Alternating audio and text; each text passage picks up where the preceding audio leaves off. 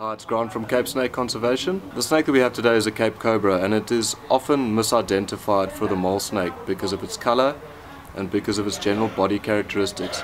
In this video I'm going to show you three key points that will help you to identify Cape Cobra. If you've ever felt that you are confused and you want to be able to tell the difference between a Cape Cobra and a mole snake, well then keep watching this video because by the end of it you should have no problem identifying one if you come across it in, in the wild.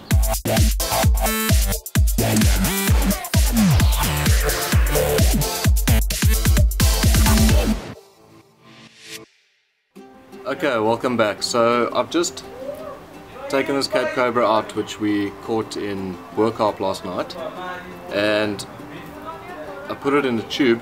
Now the tube is one of the safest ways to handle a venomous snake like this Firstly, it's obviously safer because your hand is nowhere near the, the dangerous end.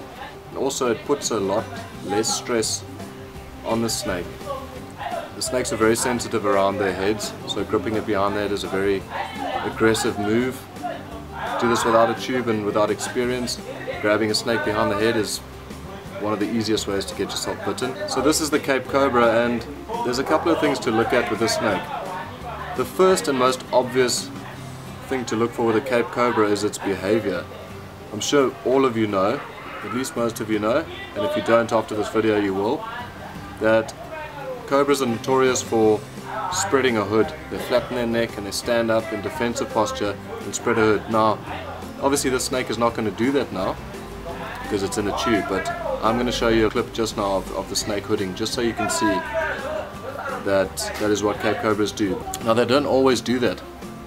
Cobra will generally only stand up and spread a hood when it's in defensive posture, meaning that it feels that there's no escape, there's nowhere for it to flee, and it's now going to stand and defend itself. Cape cobras don't hunt their food from a standing position. That's not an aggressive pose as such, it's more of a defensive pose. If the snake is given half the chance, it'll move off. When it is moving off like that though, it can look dangerously similar to a mole snake. The colors vary incredibly. The Cape Cobra can go from black to almost an olive to a dull to, to even a bright yellow color. The mole snake, except for the yellow, can look very very similar. A key difference between the Cape Cobra and a snake like a Rinkhals for example that also spreads a hood is that the Cobra has smooth scales Rinkhals and puff adders and boomslang have, have keeled scales, which means it basically means a scale with a ridge on it. It has a rough feel and it doesn't have the shiny appearance. If you see a snake like this and it's shiny, then it's either a Cape Cobra or a mole snake. So the third thing to look for, and this is really the distinction between a mole snake and a cobra, if the cobra is not spreading a hood, the difference with a cobra's head is that it has these large swollen cheeks. Now, if you think about what the cobra's strength is, and that is obviously its potent venom, you can only imagine what those large cheeks are.